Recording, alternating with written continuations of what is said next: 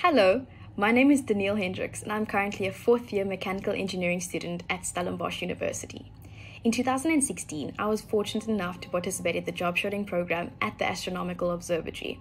I job shadowed at quite a few places in high school because I wasn't entirely sure which career, career field I wanted to go into, but the job shadowing at Observatory was by far my favorite and also the most impactful experience for me.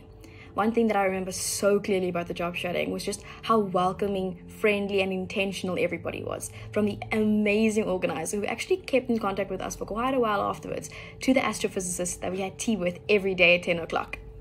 Many other places made me feel like an annoying high schooler that they were just obliged to accommodate, but not at Observatory. It was so evident that everyone genuinely wanted to help us make the most informed decision about our future career paths. They were patient, they welcomed all kinds of questions, and they were also very honest in giving answers to the questions that we had. The program itself was excellent. It was so informative, but it was also not too busy in that it gave us enough time to process the information that we were receiving.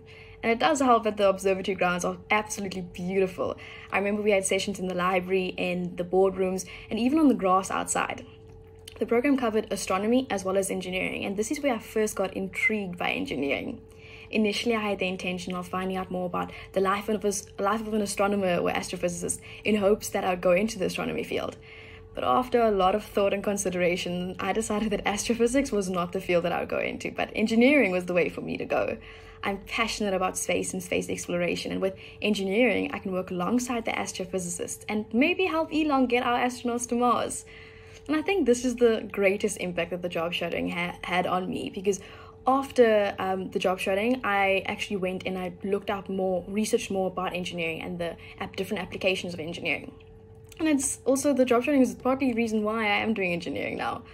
If I could redo the job shadowing, I would in an instant. This is also where I made one of my closest friends at the moment. He flew down from Joburg to do the job shadowing, and today we're still in contact and we see each other once a year.